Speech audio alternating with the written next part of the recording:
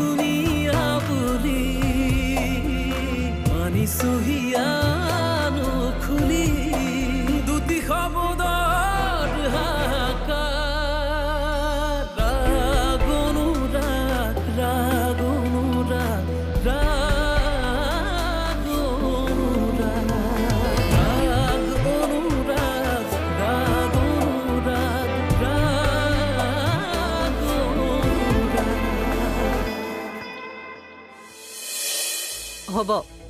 আপুনি এতিয়া সেইবোৰ চিন্তা কৰি থাকিব নালাগে। আপোনাৰ ছোৱালীৰ বয়স উকলি যোৱা নাই নহয়? বহুত ধনী ঘৰৰ ল'ৰা এটা ঠিক কৰিম। চাই থাকক। এই যে মই চাই থাকিবলগীয়া হৈছে সেইটোৱে মোৰ দুৰ্ভাগ্য। মোৰ কথা একো নুশুনাই যেতিয়া। হ'ব যি কৰা কৰি থাকা।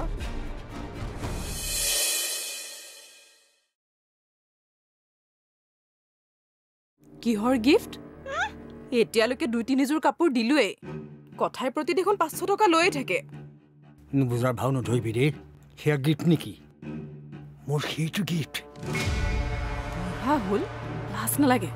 এ থ লাজ লগতে নি ঐ মৰি যাম বুজিছ মালিকৰ পঞ্চাছ হাজাৰ টকাৰ ভিতৰত ত্ৰিছ হাজাৰ টকা দিলোৱেই। তাৰ বিনিময়ত মই কিমান ডাঙৰ কাম কৰি দিলো? আপোনাৰ মালিকনী এতিয়া সম্পত্তিৰ একচেটীয়া অধিকাৰী হ'ল। প্ৰান্তনু ছাৰলৈহে বেয়া লাগে। কিমান আন্তৰিকতাৰে মোৰ খবৰ ল'বলৈ আহিছিল। হেৰ' মোৰ গালৈ চকু নিদিয়াজনক মই ৰেপ কেছত ফচাই দিলোঁ। দেৱতাৰ দৰে মানুহজনক মই একেবাৰে অসুৰ বনাই দিলোঁ। আৰে অসুৰ মইহে গতিকে গিফ্টটো দিবই লাগিব। নহ'লে কেতিয়াবা জোৰ কৰি লৈ যাম। বুঢ়া হ'ল দম আছে। সিংহ বুঢ়া হ'লে কিন্তু চিকাৰ কৰিয়েই খায়। সঁচাকৈ বৰ জহনি যোৱা দেই আপুনি।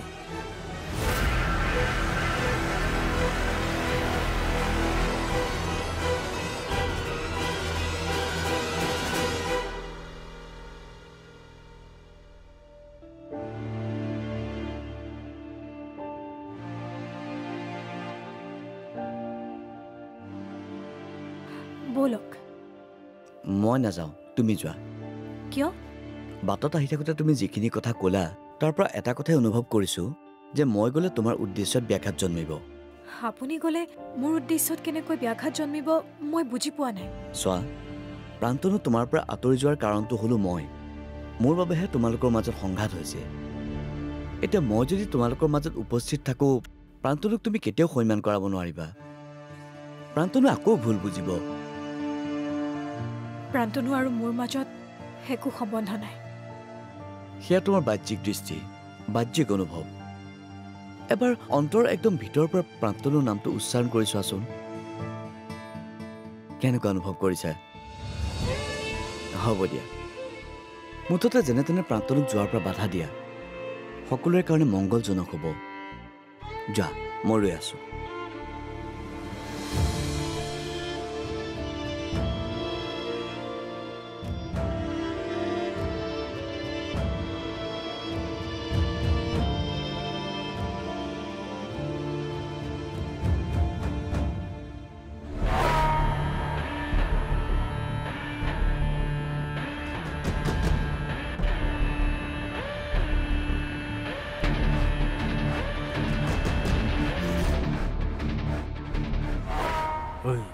মৰি যাম বুজিছ মালিকৰ পঞ্চাছ হাজাৰ টকাৰ ভিতৰত ত্ৰিছ হাজাৰ টকা দিলোৱেই। তাৰ বিনিময়ত মই কিমান ডাঙৰ কাম কৰি দিলো? আপোনাৰ মালিকনী এতিয়া সম্পত্তিৰ একচেটীয়া অধিকাৰী হ'ল। এই প্ৰান্তনু ছাৰলৈহে বেয়া লাগে। কিমান আন্তৰিকতাৰে মোৰ খবৰ ল'বলৈ আহিছিল। হেৰ' মোৰ গালৈ চকু নিদিয়াজনক মই ৰেপ কেছত ফচাই দিলোঁ। দেৱতাৰ দৰে মানুহজনক মই একেবাৰে অসুৰ বনাই দিলোঁ।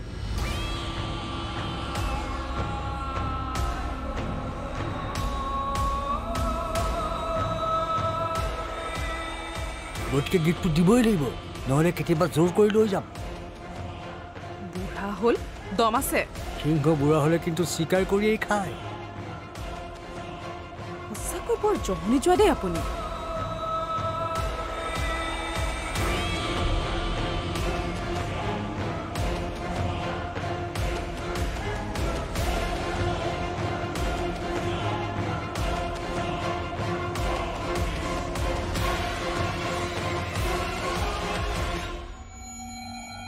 একে ঘাপতে ছিঙিবনে? নহয় মানে কলগছ কলগছ কলগছ একে ঘাপতে ছিঙিবনে? ছিঙিবনে? তোমাৰ অপেক্ষাতে মই ৰৈ আছিলোঁ। তুমি আহিবা বুলি মই গম পাইছোঁ। থেংকছ এতিয়া আপুনি মোক থেংকছ কিয় দিছে? মোৰ কামটো এতিয়াও হোৱা নাই। তুমি অহা মানে আধা কাম হৈ যোৱা। বহুত জোৰ কৰি তাক কিবা কিবি কৈ ৰখাই থৈছোঁ। আজিৰ পৰা পাঁচদিনমান আগতে সি যাব ওলাইছিল। আৰু তাৰ অফিচৰ জইনিং ডেট আছিলে। বুজিছা? তোমালোকৰ আইতা ঢুকোৱা বুলি খবৰটো ময়ে দিলোঁ। সি গমকে নাপায়। এওঁ ইয়াত যে? অঁ এওঁ ইয়াত। তাত আচৰিত হ'বলগীয়া কিটো আছে? আচৰিত নহ'ম কিয়? এই সময়ত ইয়াত অহাটো আচৰিত হোৱাৰে কথা। আৰু এওঁৰ বেলেগ কাৰোবাৰ লগতহে বিয়াৰ কথা শুনিছিলোঁ। চোৱা বিয়া বাৰুৰ বাহিৰেও অন্য বহুত কথা থাকিব পাৰে। তোমাৰ লগত?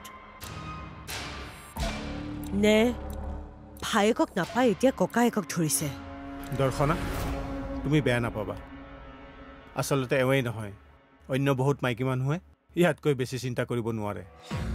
বহুত মাইকী মানুহে যিটো চিন্তা কৰে সেইটোৱে পিছলৈ সঁচা হৈ যায়।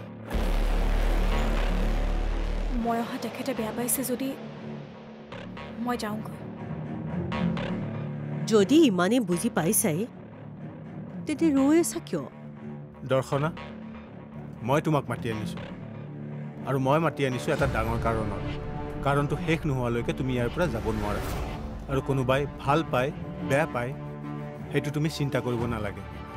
কোনোবাই ভাল পালেও বেয়া পালেও তোমাৰ কোনো ক্ষতিও নহয় একো লাভো নহয়। আহা মোৰ লগত।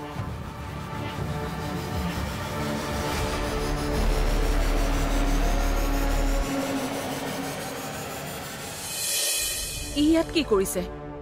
কি কৰিছে মানে? মই মাতি আনিছোঁ।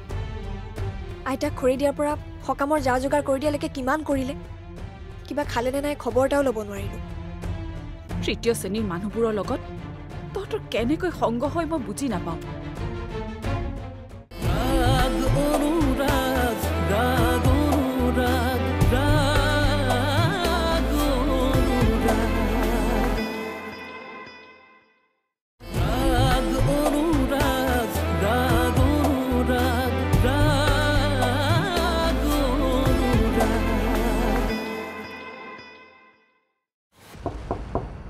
দুৱাৰ খোলা আছে মই আৰু তোৰ কোনো কথাই নুশুনো। মই জানো তই মোৰ সুখৰ চিন্তা কৰ। মই এই কামটোত সুখী হ'ম। মই ইয়াত সুখেৰে থাকিব নোৱাৰিম। ইয়াতকৈ সুখেৰে থাকিব নোৱাৰিব? তুমি? মোৰ ৰুমত? হয়। অনাধিকাৰ প্ৰৱেশ কৰাৰ বাবে ক্ষমা বিচাৰিছোঁ। তুমি ইয়ালৈ কিয় আহিছা? আৰু তোমাৰ ভাবিছামি ক'ত? চোৱা তুমি এনেকৈ মোৰ ৰুমলৈ আহিলে তোমাৰ ভাবিছামি বেয়া পাব পাৰে। মোৰ কথা ইমান চিন্তা কৰিছে কিয়? আপুনি নিজৰ কথা চিন্তা কৰক। মোৰ কথা চিন্তা কৰিবলৈনো কি আছে? অকলশৰীয়া মানুহ। কোনোবা এখন অজ্ঞাত গাঁৱত গৈ মানুহৰ হৈ কাম কৰি চাম। মানুহৰ হৈ কাম কৰিব? অঁ মানুহৰ।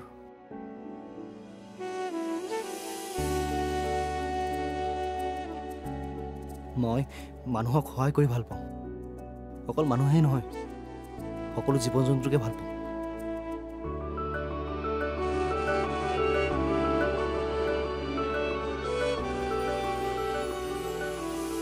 তেতিয়াহ'লে আপোনাৰ কাষত থকা মানুহবোৰক এৰি থৈ যাবলৈ লৈছে কিয়? এইখিনিওতো মানুহ। মানুহ হয় কিন্তু ইয়াত স্বাৰ্থ জড়িত হৈ আছে। কিছুমান সম্বন্ধই বান্ধি ৰাখিছে। এই সম্বন্ধ য'ত থাকে তাত স্বাৰ্থ থাকিবই। আপোনাৰ যুক্তি ভুল বুলি নকওঁ। কিন্তু আপোনাৰ দৃষ্টি একপক্ষীয়। নিস্বাৰ্থভাৱেও মানুহৰ লগত সম্পৰ্ক স্থাপন কৰিব পাৰে। তেনেকুৱা উদাহৰণ বহুত আছে। সেয়া বিৰল। তুমি এতিয়া ইয়াৰ পৰা যোৱাগৈ। তুমি এনেকৈ মোৰ ৰুমত সোমাই থকা বুলি গম পালে সঁচাকৈয়ে তোমাৰ ডাঙৰ বিপদ হ'ব। তাতে মই এজন বদনামী মানুহ। ড্ৰাইভাৰৰ ঘৈণীয়েকো মোৰ হাতৰ পৰা সাৰি যোৱা নাই। হ'ব। মই আপোনাক বহুত কাষৰ পৰা পাইছোঁ। মানুহে বেয়া কাম কৰিব পাৰে। কিন্তু কিমান বেয়ালৈ যাব পাৰে সেইখিনি অনুমান কৰিব পাৰি। শুনক মোৰ আৰু কুন্দিল ছাৰৰ হ'বলগীয়া বিয়াখন ভাঙিল। কাৰণ কুন্দিল ছাৰে মোৰ ভণ্টি ভাৱনাক ভাল পায়। এতিয়া আমি দুয়োজন ভাল বন্ধু। তেখেতেই মোক ইয়ালৈ লৈ আহিছে। আপুনি প্লিজ ইয়াৰ পৰা নাযাব। আপুনি মানুহৰ মাজতে থাকক। নহ'লে আপোনাৰ দাদাই বৰ কষ্ট পাব। আৰু তুমি? তুমি কষ্ট নোপোৱা? নাজানো। এতিয়াও নিজক সুধি চোৱা নাই। আহিছোঁ দিয়ক। আপোনাৰ দাদাৰ অনুৰোধতহে আপোনাক ৰখাবলৈ আহিছিলোঁ। আপুনি গুচি গ'লে বহুতে কষ্ট পাব। হয়তো তাৰ মাজত ময়ো আছোঁ। আহিছোঁ।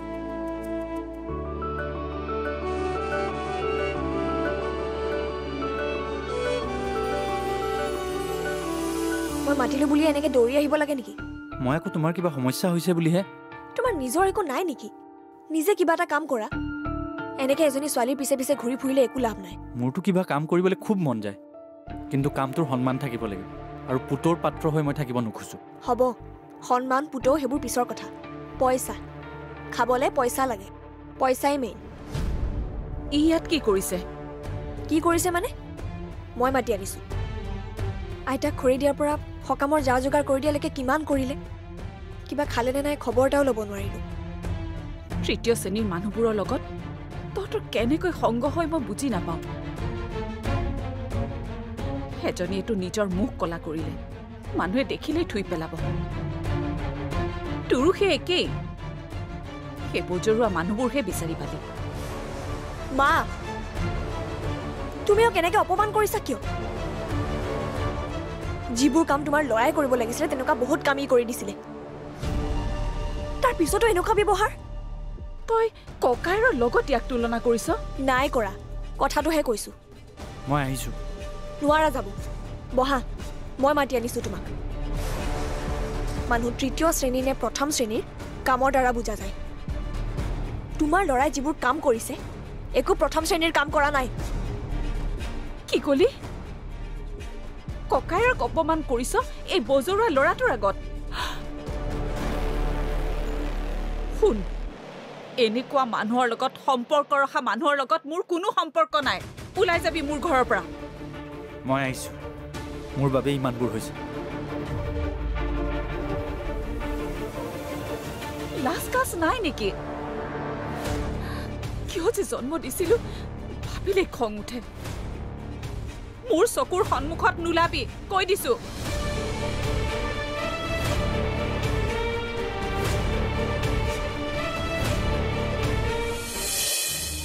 কি হ'ল?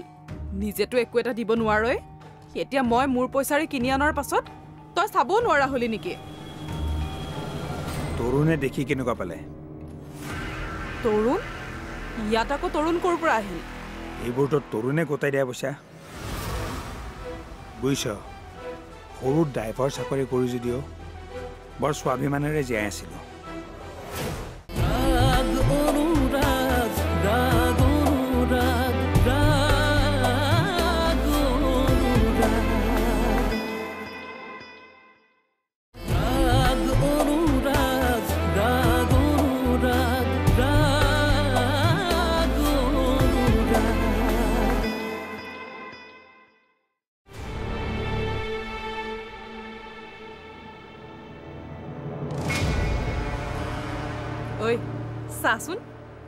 কেনেকুৱা লাগিছে কাপোৰযোৰ? কি হ'ল? নিজেতো একো এটা দিব নোৱাৰই। এতিয়া মই মোৰ পইচাৰে কিনি অনাৰ পাছত তই চাবও নোৱাৰা হলি নেকি? তৰুণে দেখি কেনেকুৱা পালে? তৰুণ? ইয়াত আকৌ তৰুণ ক'ৰ পৰা আহিল? এইবোৰতো তৰুণে গোটাই দিয়া পইচা। বুজিছ? সৰু ড্ৰাইভাৰ চাকৰি কৰি যদিও বৰ স্বাভিমানেৰে জীয়াই আছিলোঁ। মালিকৰ পৰাও সন্মান আদায় কৰিব পাৰিছিলোঁ তই কিয় এনেকুৱা কৰিলি? মই আনি দিয়া কাপোৰেৰে লাজখিনি থাকিব পৰা নাছিলি। তই এইবোৰ কি কৈছ? মই কি কৰিলোঁ? কি কৰিলি? চব শেষ কৰি দিলি। মোৰ প্ৰতি কৰা অন্যায়ৰ কথা মই সহজভাৱে লৈছোঁ। কিন্তু কিন্তু সেই দেৱতাৰ দৰে মানুহজনক তই কিয় ইমান অন্যায় কৰিলি? তই কি কৈ আছ? মই এইবোৰ একো বুজি পোৱা নাই। আজি কিবা বেলেগ মাল খালি নেকি? মোৰ গাটো সৰিয়হ ফুটাৰ নিচিনা ফুটিছে। মদৰ গ্লাছ মুখত লৈও আজি খাব পৰা নাই।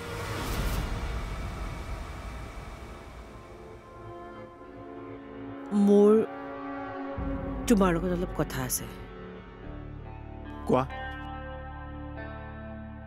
এগৰাকী পত্নী হিচাপে তোমাৰ ওপৰত মোৰ অধিকাৰ আছেনে নাই? আছে। কিয় নাথাকিব? কিন্তু তুমি মোৰ ওপৰত থকা অধিকাৰৰ কথা কৈছা? নে মোৰ সম্পত্তিৰ ওপৰত থকা অধিকাৰৰ কথা কৈছা? তোমাৰ ওপৰত অধিকাৰ থকা মানে তোমাৰ সম্পত্তিৰ ওপৰত অধিকাৰ থাকিবই ন? চোৱা বিয়া দুজন মানুহৰ মনৰ মিলন। ইয়াত সম্পত্তি টকা পইচাৰ কথা নাথাকে। নহ'লে টকা পইচা নথকা মানুহ কেতিয়াও বিয়াই নহ'লহেঁতেন। কিন্তু এইবোৰ কথা মই তোমাক কিয় কৈছোঁ? সেইবোৰ তোমাৰ মগজে ঢুকি নাপায়। কোৱা। কি ক'ব বিচাৰিছিলা? তুমি প্ৰাণটোক যাবলৈ মানা কৰিছা কিয়? সি যাবলৈ বিচাৰিছে যাবলৈ দিয়া? তাক তাৰ মতে জীয়াই থাকিবলৈ দিয়া? তেতিয়া তোমাৰ লাভ নহয় জানো? মই মৰিলে দুইটা সম্পত্তি তোমাৰ নামত হ'ব। নহয় জানো? তাক আপত্তি কৰিবলগীয়া কি আছে? চোৱা একেইখিনি কথা কৈ কৈ মোৰ আমনি লাগিছে। প্ৰাণটো মোৰ বাবে ভায়েই নহয় সি মোৰ বাবে সকলো।